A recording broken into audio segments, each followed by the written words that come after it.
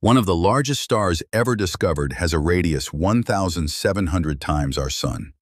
If you put it in our solar system, it would reach past Jupiter's orbit. On the opposite end, the tiniest known star is only about the size of Saturn, just barely massive enough to ignite nuclear fusion and qualify as a star. Somewhere in between is Sirius, a blue-white star about twice the size of the Sun. Its intense color means it burns two to five times hotter than our own star. Then there's Arcturus, a red giant nearly 25 times larger than the Sun. Its cool, reddish glow reveals it's much older and nearing the final stages of its life. And finally, giants among giants. Stephenson 2-18, a red hypergiant. It's thought to be over 2,000 times the Sun's size and still expanding as it dies.